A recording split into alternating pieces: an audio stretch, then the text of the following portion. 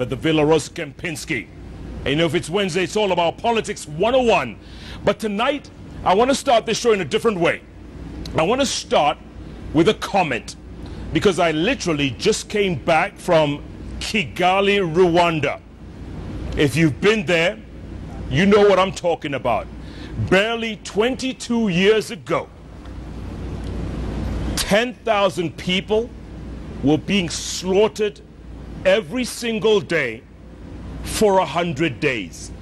If you do the math on that, that means that a million people were killed in the space of 100 days. And if you go to Kigali, just a stone's throw away from the capital is a place called the Rwanda Genocide Memorial. You go through and you, you, you go for a tour for about 30 minutes, and then there's a place where there's an everlasting flame, and you're standing literally on the bones of half a million people, because the other half a million are spread across the country. But you're standing on the bones of half a million people. The reason I'm saying this, folks, is that what we're doing to each other right now, we're treading on very dangerous ground. An election is more than a year away, and already the hate is palpable. Not only physically, but also on social media. We need to take stock. We need to sit back and reevaluate where we want to take this nation. We're going to start that tonight. And yes, many of you keep saying, that we talk over and over again. But I keep saying the moment we stop talking is the moment we start fighting.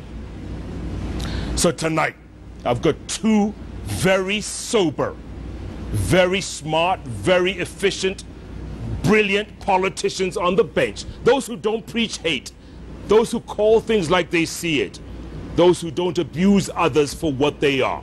So, let's talk, let's speak, let's tweet, Let's get this thing going because, frankly, there is no other Kenya to go to. I'll tell you that for free. On my far right, Member of Parliament for Kibra. He's a man, I tell you, young, smart, brilliant politician. He is the future, the face of the future of Kenya. Ken Okoth. His Twitter handle is at Okoth Kenneth. The man in the middle. He's been in humanitarian service for more than 30 years before he became Member of Parliament for Kamukunji. And he almost died before he became Member of Parliament for Kamukunji. Some idiot threw a grenade in one of his rallies, shattered one of his legs. He still walks with a limp, but he's still committed to the people of Kamukunji and the people of Kenya. Yusuf Hassan, his Twitter handle is at MP Yusuf Hassan. Mine is at Koinange Jeff let's be frank and let's talk the talk because I tell you, Rwanda is a perfect example. An hour and 20 minutes flight away is the face of evil. But they overcame it. Can we? The hashtag we're using tonight is Chorea Ukabila. I'll say that again. The hashtag is Chorea Ukabila. Let's get started. Gentlemen, good to see you. Thanks, Mheshimiwa. Good to see you, Thanks Jeff. so much for coming, Mheshimiwa. Thank you, Jeff. You know, and I, and, you know, I, the reason I called you guys is, you guys are, you know, let's face it, out of the 350 or so members of uh, parliamentarians, you guys are the most sober. And that's saying a lot because there are some of you, yes, there's eight legislators in jail, in prison right now. They're cooling their heels for four days because of the hate that's been emanating. And Mheshimiwa, let's, let's start with you, Ken Okoth. It's ugly out there, man. It's ugly. And not just in your constituency, because your people now, they spill over onto Ngong Road and they block the whole streets and everything. But it's ugly in general, isn't it? It's ugly in general, and I would go back to what you've said about Rwanda. I've also been to Kigali, and it sobers you up. And uh, you see how easily you can lose uh, what we have. The peace we have in Kenya, is, it's, it's precious. And I think we need leadership with responsibility from both sides. And uh, just this week, somebody told me, Ken, you're in ODM, you're in CORD, you're a politician, you're young, you have to think of re-election. What if you'll never be re-elected? and this is your only chance to have a platform to speak and represent and be a member of the National Assembly. To be true to yourself, what would you say? And I would say all the nonsense has to stop. Because I know in 2008 my family were refugees. They were trying to get out to Kisumu. And then the news came out from Kibera, and the news came out that people were being pulled out of buses in Naivasha. So the only safe other escape was get on a bus to Arusha, south. And they were in uh, Arusha for three, four months, relying on the generosity of strangers, new friends we're looking at. I have worked in Tanzania, and um, it's a great country, generous people, but it's not Kenya. Kenya is a very good country. For me to think that somehow or another we've had post election violence, now we are having really what seems like people are gearing up for pre election violence, mm. and that we could send Kenyans, millions, hundreds of thousands of them, children, women, as refugees to Tanzania. Tanzania could say, we can't hold this many Kenyans, the same way we are saying we can't hold this many Somalis in Dadaab, and say let them send them on to Malawi. I have been to Malawi. Malawi is a poor country. People are hungry. Mm-hmm. They're fishing for mena in that lake. They're eating millet. Now our people as refugees there. So I think all leaders need to step back on both sides and ask themselves, what are you doing? And we think about our national anthem. I was discovering with, with our Honorable Hassan before. Think about our national anthem. O God of all creation. We sing that. We believe in that. It's in our national document. Every leader in Kenya. Is that God of all creation that you believe in and worship in this holy month of Ramadan? As a Christian, as a Jew, as a Hindu, whatever faith in that Kenya. Are they proud of you when you're on that stage in front of people of your own ethnicity or in front of people of your own party when you're saying what you're saying? Is that God proud with you? How would they ju- judge you? Good point. You know? You just heard what Mheshimiwa Ken Okoth just said. And you were involved in humanitarian service for decades. Tell these people who have no clue what it's like when you are meeting refugees, people who are professionals, lawyers, doctors, politicians, you name it, professionals reduced to living in tents.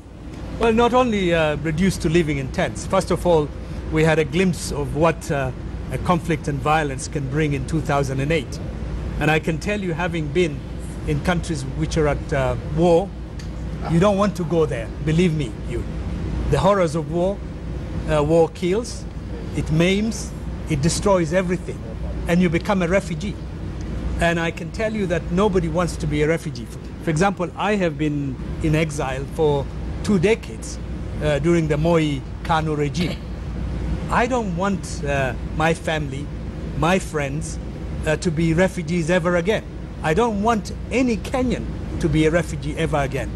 And I think we must start by condemning uh, the, the outrage that we've had of, of people uh, selling, preaching uh, ugly uh, messages of incitement, of hate. Uh, and I want, must say that I'm outraged and I'm disgusted by it.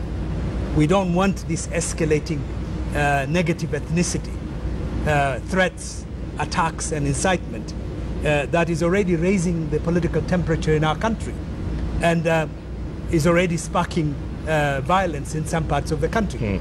And I, uh, as um, my fellow MP has said, all um, of us need to pull back. We need to condemn, we need to stand back before these negative elements push us to the abyss. That's not where we want to go as Kenyans. Kenya has a lot of potential. Kenya has a better future. But unless we can come together, uh, and I don't believe that any political party uh, can be elected to office because some members of that particular party are uh, preaching um, negative uh, hatred Yeah. against others. Yeah. I think the Kenyan public is intelligent enough to know that they would elect leaders uh, who show what they have done But we're not. performance. But we're not. Let's face it, we're not intelligent enough because we've elected the Moses Kurias the Waititus of this world. And, and- and let's face it, Mheshimiwa, the arrest, or rather, the, the, the, temporary cooling off, if you will, the four days in, in, in cells of everyone from Wait, Waititu to Kuria to Muthama to Aisha to Mutua to Timothy Busina. Will it help? Does it? Will it make a difference? I think uh, if we look at um, the issue you, as you're bringing it up, um, first of all, who are the Kenyan voters and what are their priorities? And what are the stories media help to tell them? What are the political parties help to tell them?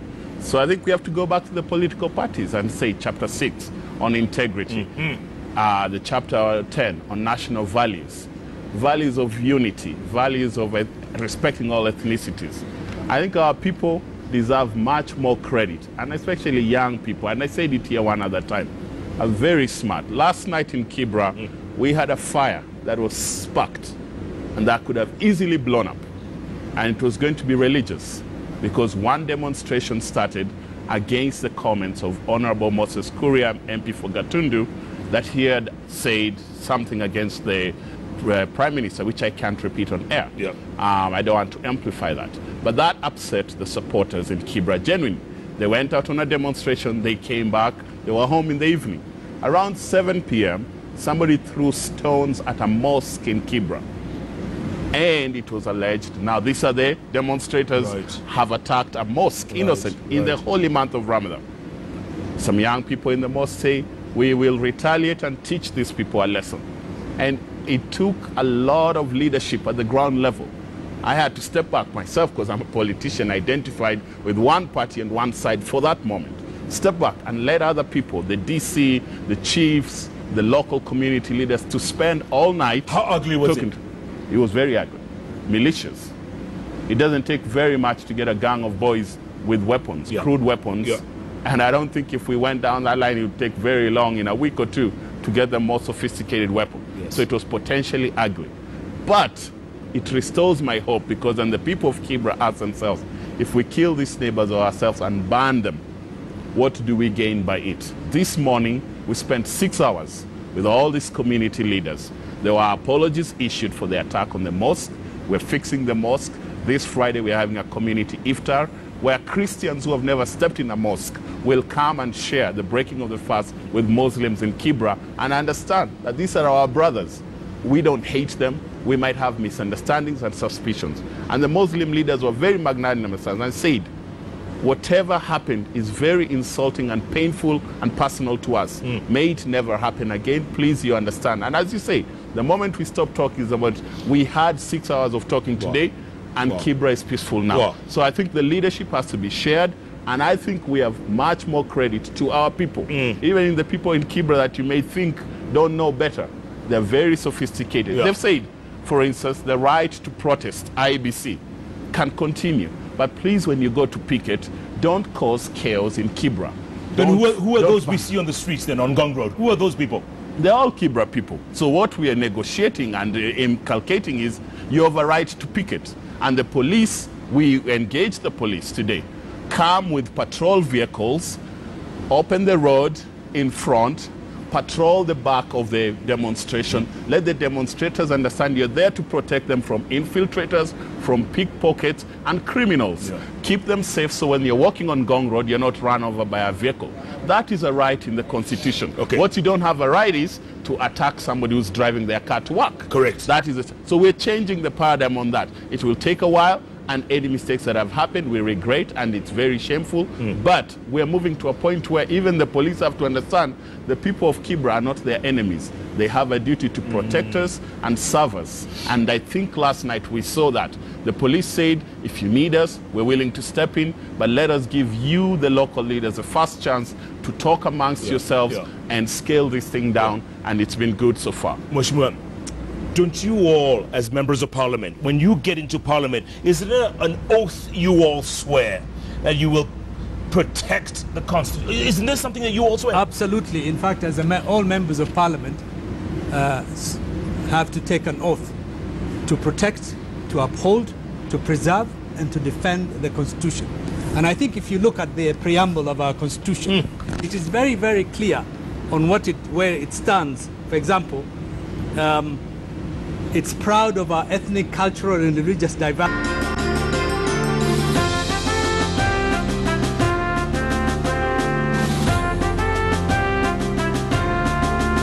From the